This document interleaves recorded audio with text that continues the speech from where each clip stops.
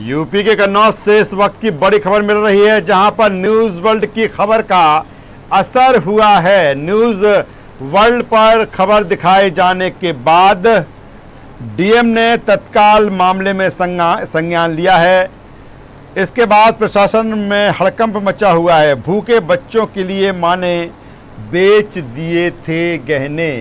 जिस तरह से तमिलनाडु से एक परिवार आया था और रोज़ी रोटी का संकट उसके सामने था।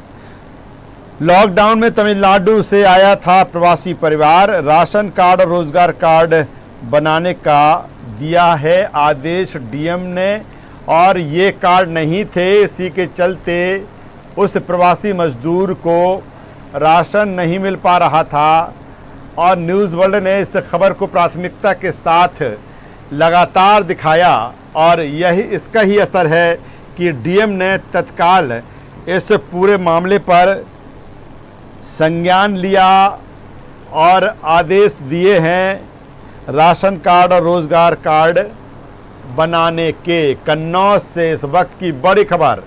न्यूज़ वर्ल्ड के ज़रिए जिस तरह से ये खबर दिखाई गई थी कि कैसे एक परिवार, पति, पत्नी और नौ बच्चे, ग्यारह लोगों का परिवार कोई कमाई का ज़रिया नहीं आप सोच सकते हैं क्या बीत रही होगी इस परिवार पर। कोई सुध लेने वाला नहीं था और तभी न्यूज़ वर्ल्ड ने इस खबर को प्राथमिकता के साथ दिखाया था और खबर का ही असर है कि वहाँ के डीएम, डिस्ट्रिक्ट मजिस्ट्रेट ने आदेश दिया है कि राशन कार्ड और जो रोज़गार कार्ड हैं, वो इस प्रवासी मजदूर के बनाए जाएँ।